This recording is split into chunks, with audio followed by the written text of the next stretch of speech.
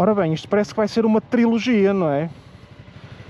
Testei no último vídeo, como puderam ver, aqui a NX500, a comparar um bocadinho as diferenças com a NC750X.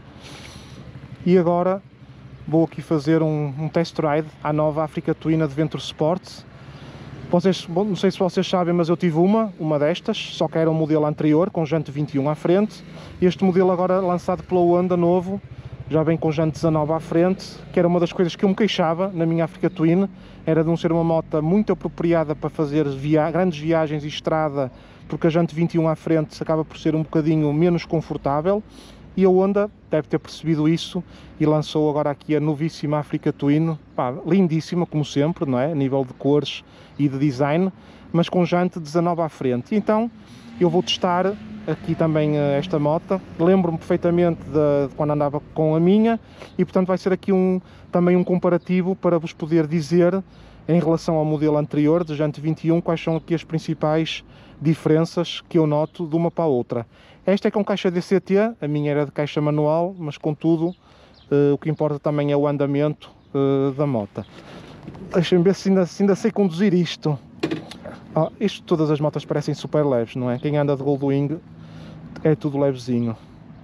O ecrã é igualzinho, ok? Ora, está em neutro. Botão espetáculo, basta clicar uma vez, não é preciso estar ali a, a fazer pressão. Ela, pois, ela está com o banco no, no coisa mais baixo. Para mim, não gosto muito, mas também é bom porque assim fico mais baixo um bocadinho, puxo aqui o vidro para cima, já está na posição mais alta e protege mais do vento para fazer o vídeo, o áudio também fica melhor. É o som, agora recordo-me, já não conduzo uma África Twin há muito tempo, já ia meter aqui a mão à embreagem, mas aqui é o travão de mão, não é? Que tem aqui. Ora, vamos lá então. Drive.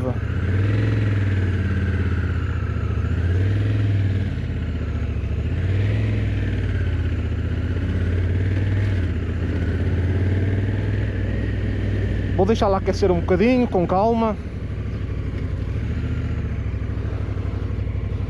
O problema de quem anda de Goldwing é que todas as motas são muito levezinhas, não é? É a parte boa.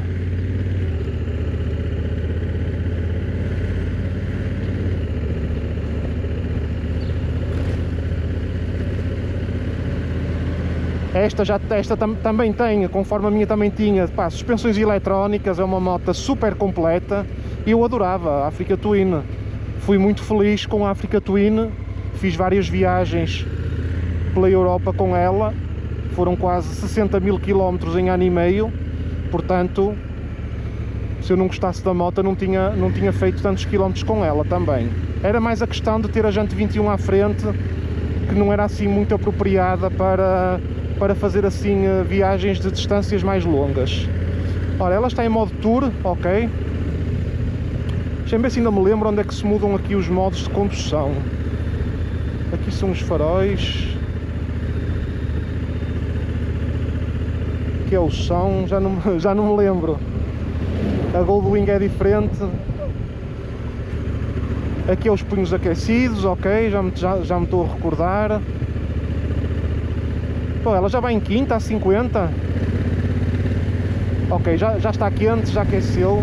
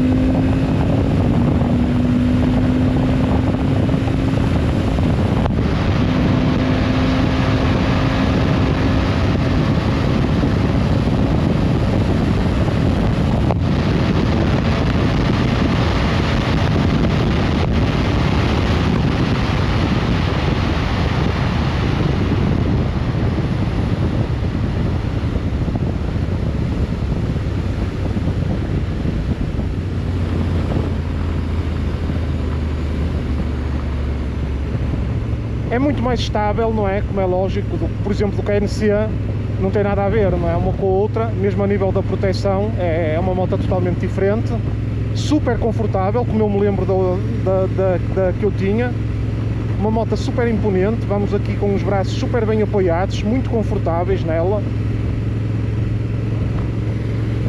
Isto, é, isto é uma moto com muita história, não é? As primeiras Africa Twins, se não estou em erro, saíram no final dos anos 80 e portanto ainda é uma, aqui um modelo que perdura ao fim de tantos anos. Muito porreira a moto. A diferença que eu noto nesta moto é, é isto, ao fazer estes é uma moto mais, mais dinâmica do que, era, do que era o modelo anterior com jante 21 à frente. Gosto mais gosto mais assim, é uma moto mais apropriada para, para andar assim em estrada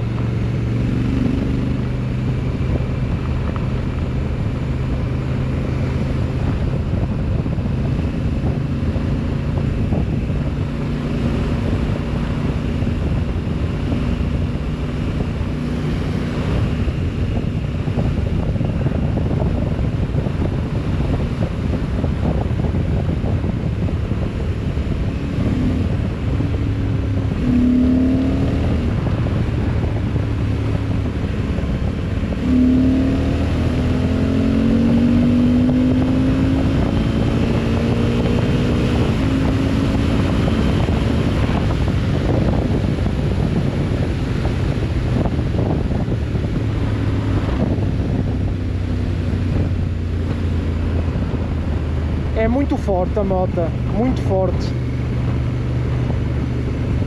E é muito confortável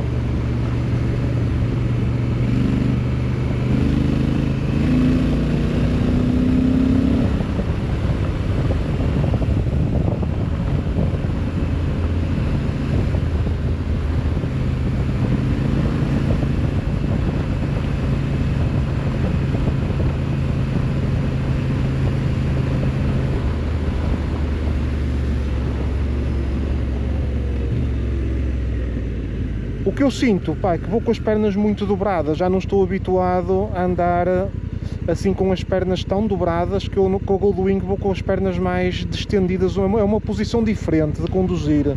Eu aqui sinto que vou com as pernas, este ângulo que faz aqui é muito para trás, percebe? Com o Goldwing eu vou mais tipo assim, estão a ver? Não sei se está a filmar bem, eu com o Goldwing vou com a perna, aqui quando faz a dobra, ela vai mais a direito, e aqui sinto que vou com a perna demasiado dobrada pá, pronto, é o que é, é o estilo, é o estilo trail, não é? Mas isto, eu gosto mais com a caixa manual, deixa-me meter aqui, meter aqui nas, na patilha. Os modos de condução, deixa-me ver se eu acerto nisto, se eu me lembro. Ah, gravilha, mudou para gravilha, TT, utilizador 1, utilizador 2, Tour, urbano, gravilha, TT, ai não tem modo Sport, não, é o modo Tour, ok. E a suspensão, eu lembro-me que isto estava para ajustar tudo aqui.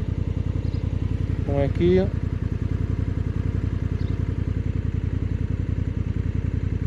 Dá para pôr com mais carga, com menos, já, já não me lembro onde é que é. Uh...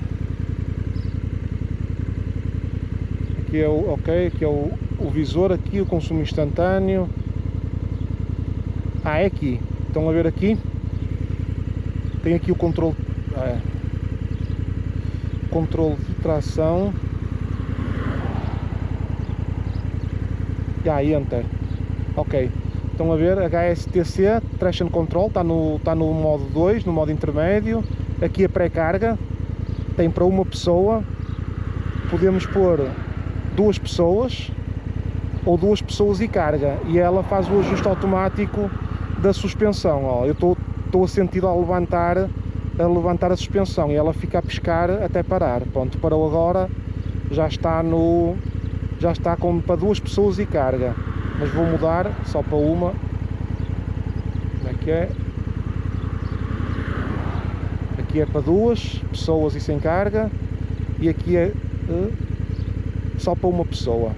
A suspensão rebaixa um bocadinho Pá, isto, isto dá muito jeito, principalmente quando, quando estamos a fazer viagens, não é? Quando estamos a fazer viagens. Pá, mas é, o que eu noto nesta moto é, é, é, o, que era, é o que era a minha, basicamente. Pá, é incrível que, por exemplo, a dar, a dar esta volta aqui, epá, a Goldwing é muito mais maleável do que isto, é impressionante. Aqui está em caixa manual. Um bocadinho automática. Vou meter em modo drive, no modo mais soft. Uh, por causa isto é engraçado, agora aqui a dar a fazer inversão de marcha, uh, a Goldwing tem um centro de gravidade mais baixo, é muito, mais, é muito melhor de se fazer este tipo de manobras do que esta, que é uma moto bastante mais alta. Mas é assim, opa, numa moto, isto, é isto é uma moto de 20 mil euros, ok? Estamos a falar, isto é uma moto de 20 mil euros e é uma moto super confortável. Estava aqui a chegar-me para trás um bocadinho no banco, porque eu lembro-me quando fazia viagens, eu ia-me chegando mais à frente, mais atrás um bocadinho, e dava para dava para ajustar aqui um bocadinho a posição, que uma pessoa começa a, isto acusa cansaço ao fim de alguns quilómetros, e eu não conseguia fazer mais de mil quilómetros com, com, com, esta moto. Eu saía do Porto, chegava a Bordeus, pá, todo arrebentado, ok? É, é, é a realidade mas também era com uma jante 21 à frente, isso também faz diferença no conforto, a rolar em autoestrada muitos quilómetros, faz uma diferença significativa para uma moto com jante 19, que é muito mais apropriada para, para andar em, em estrada, portanto aqui continua a ser a entrada USB, ok, como era, é exatamente a mesma coisa, o cruise control, deixa-me ligar aqui o cruise control, ok, funciona bem, também é uma boa ajuda para quando vamos, para quando vamos em viagens ligar o cruise control Pá, é uma moto muito porreira, muito boa, muito forte ela é muito forte e, uh, e o que ela tem chega vocês viram ali, esta moto chega aos 200 km por hora muito facilmente, ok? Não é preciso não é preciso muito mais do que isto para se ter para se ter uma boa moto para, para viajar. Além disso, também tem aquela conectividade com o telemóvel onde podem projetar o Google Maps ou o Waze, podem projetar aqui, eu utilizava isso eh, quando tinha a minha, a minha Africa Twin, que é uma coisa muito boa, e este ecrã aqui em cima fica todo para o, o mapa, não é? Pá, é engraçado eu quando tinha a minha Africa Twin achava que esta moto tinha uma proteção muito boa de vento, mas agora com a Goldwing eu sinto aqui uns ventos aqui de um lado e do outro, aqui a vir-me um bocado à cara, para mim já fica assim um bocado, um bocado desconfortável. Estão a ver se eu meter aqui a mão, que ainda vem aqui um bocado no enfiamento do capacete, eu sinto nos ombros o vento e com a Goldwing não sinto rigorosamente nada. Mas pronto. Deixa eu meter aqui modo Sport fazer aqui só um arranque com ela, só para ver aqui como é que ela, como é que ela está a puxar. Não tem aqui areia no chão, não. Só fazer aqui um arranquezito com ela para ver. Deixa-me meter em modo manual, para meter as mudanças eu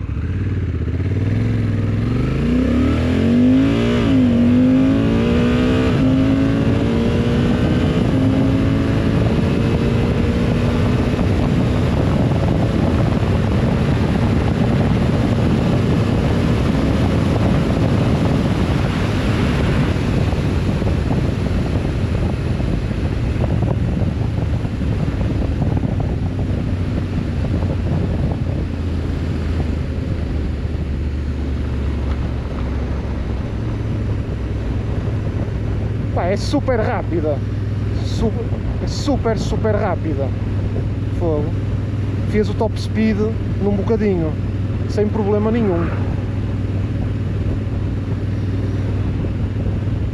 Opa, eu quando faço test, test rides a motas, pá, não vou andar assim a 70 a dizer-vos que ela é muito confortável e é muito boa, pá, é, é dar a visão global, global da moto. Se ela chegasse aos 160 ou 150 e começasse e abafasse um bocado, convinha que as pessoas soubessem para comprar uma moto destas, imaginem, não é? Se fosse o caso, ao comprar uma moto destas que chegava àquela velocidade e ela começava, não é? Portanto, eu gosto de fazer um, um test ride em todo o tipo de cenários.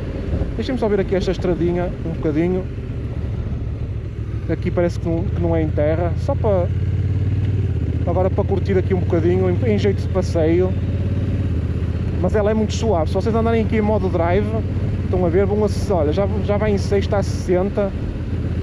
Se for andar, se andarem assim a passear, a explorar, pá, é uma grande vantagem ter o DCT porque não, não têm que estar sempre a reduzir e, a, e aumentar as velocidades, pelo menos eu acho isso, não é? É a minha opinião. Aqui a estrada está mais degradada um bocadinho, só que a fazer um teste às suspensões. Eh, eu tenho uma opinião muito, muito boa em relação às suspensões desta moto, como é lógico. São suspensões do melhor que há. E, uh, e meti só aqui um bocadinho por esta estrada, só para vos dar aqui um parecer. Mas as suspensões são, uh, do que me lembro da minha, pá, filtram super bem o piso, sem problema nenhum. São suspensões de qualidade, de qualidade máxima da Honda. Isto é uma moto que vocês fazem 100 mil, 200 mil, 300 mil quilómetros, desde que façam as revisões a tempo. Isto é um motor que nunca mais acaba. É um motor 1100 centímetros cúbicos com 105 cavalos, ou seja, não é uma moto a Honda podia pegar nesta moto e meter-lhe 130 cavalos sem problema nenhum, não é? E ficava aí a moto a dar 230 km por hora, só que depois, não é? Como se vê noutros, noutras marcas e noutros modelos, noutros tipos de motas, depois elas chegam a determinada quilometragem, arreiam todas, não é? Pronto. O, a, grande, a grande diferença é essa. Goza-se enquanto se pode, mas depois chega só aos 20 ou 30 mil e é ver os motores todos babados uh, e etc, não é? Conforme todo, todo, toda a gente sabe. A Honda aqui tem uma moto de 1100 cm cúbicos. Isto aqui é propriedade privada, eu vou dar a volta. Pronto, é proibida a entrada, vou dar aqui a volta e vou para trás. Uh, isto é uma moto de 1100 cm cúbicos com 105 cavalos e como vocês puderam ver, mesmo a nível de, de velocidade, vocês andam a 140, 160 sem problema nenhum com esta moto. Sem problema nenhum e já de 120 ou 130, nem se fala nisso, não é? Ou seja, ela tem potência que chegue e que chegue e que sobre para qualquer tipo de, de, de, de viagem que vocês planeiem fazer. Com a diferença de que isto é uma moto que vos vai durar muito tempo e ao fim de, de 20 ou 30 ou 40 mil quilómetros não vão começar os problemas. Que é isso que eu uh, mantenho-me fiel à Honda porque para mim a fiabilidade está ali no top 3 daquilo que eu mais aprecio numa moto. Aliás, até está, no meu caso, até está mesmo em primeiro lugar, a fiabilidade.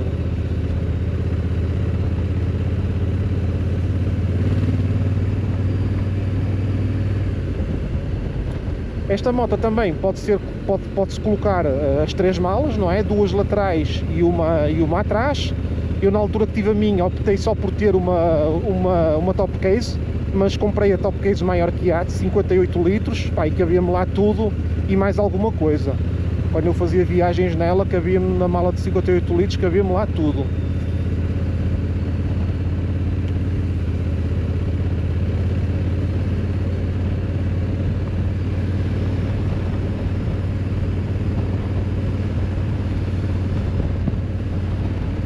Quem está aí a perguntar, ou para quem está a pensar em comentar ou perguntar-me em comentário se eu sinto saudades da África Twin, pá, eu sinto muito dizer-vos, mas não sinto, não sinto saudades da África Twin em relação à, à Goldwing.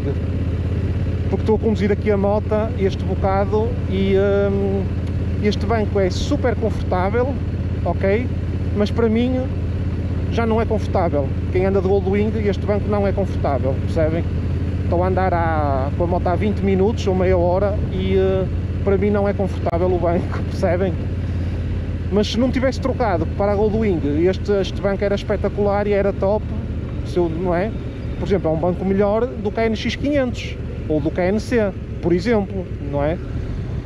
E eu no meu, e eu no meu, na minha Africa Twin, eu, eu tirei o banco fora e levei a uma casa, à JN Seats, em Famalicão, para meter mais gel no banco, percebem? Para ele ficar mais mais confortável um bocado, mas mesmo assim uh, não, tem não tem nada a ver com o, com o banco que a Goldwing tem. São motas diferentes.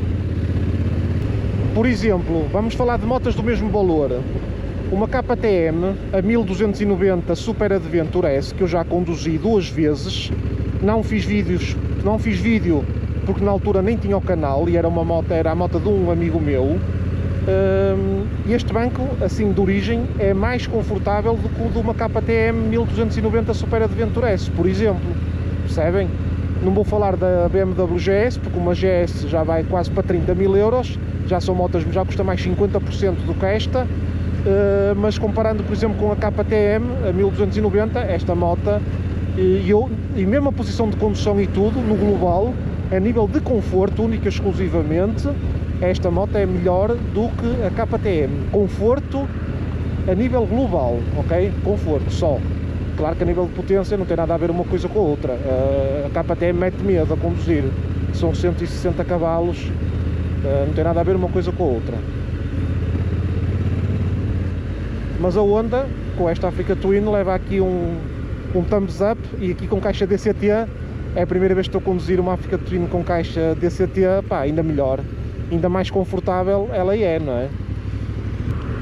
Ora bem, então assim, quer dizer, eu tenho a CRF 300 Rally, testei a NX500, testei a NC 750X, testei a Transalp, da outra vez que estive aqui tem aí o vídeo com o test ride da Transalp, e agora a nova Africa Twin, ou seja, testei a gama toda das trails da, da Honda, acho que não falta nenhuma. A Honda Monkey acho que não conta para trail. Já testei tudo. O barulho também gosto muito. Tem aqui um, aqui um brap, brap bastante, bastante forte. Pá, muito porreiro. E pronto pessoal, olhem aqui a, a Transalp que eu fiz o test ride. Não sei se foi esta ou se foi aquela uh, cinzenta, já não acho que foi a cinzenta que eu fiz o test ride, mas tem aqui uma, eu acho mais piada esta cor, da Transalp. Ora, vou pôr aqui a moto no sítio dela. E pronto pessoal, ficou aqui um, um test ride à novíssima Africa Twin. Se estiverem interessados em ver uma ou fazer um test drive, venham aqui à Motodiana, que eles têm aqui a Transalp, Africa Twin, NC 750X, NX500 pá, como veem, não faltam aqui motas, NT1100, estou ali a ver, também para test ride. Pá, vocês precisando, venham aqui e mesmo que estejam a pensar em comprar uma moto, uma Honda, nunca deixem de mandar um e-mail aqui para a Moto Diana a pedir preço, porque mesmo que vocês, mesmo que vocês morem numa região geográfica mais distante aqui de Évora, vocês não se esqueçam que a Motodiana tem o serviço de entrega uh, ao domicílio das motas. Entregaram a minha CRF 300 Rally em casa, não é? Uh, e já tenho feito outras entregas a outros clientes, não, aqui a Transalp. E, uh, portanto, nunca deixem de mandar um e-mail para aqui. Se mandarem e-mail, digam que, que viram o vídeo do Dando Rider, que acaba também por ser por ser bom, bom eh, para mim no sentido em que eh, esta, esta parceria, a amizade que temos acaba por ser, por se fortalecer também, digam que vem da parte do, do Dando Rider um, e peçam preços, não tenham problemas em relação a isso porque não se têm que deslocar, de, que deslocar aqui para pedir preços e eventualmente se virem que tal podem vir aqui depois ver a moto e levá-la ou não. Porque isto é uma, é uma casa tem 31 ou 32 anos não é daquelas casas que estão há meia dúzia de dias, não é? E vocês hum, podem, podem, podem comprar aqui a moto e eles entregam-vos a moto em casa, não é? E pronto pessoal, olha, vou dar aqui o vídeo por uh, concluído, temos aqui então uh, o test ride da Africa Twin. Espero que tenham gostado, um grande abraço e até ao próximo vídeo.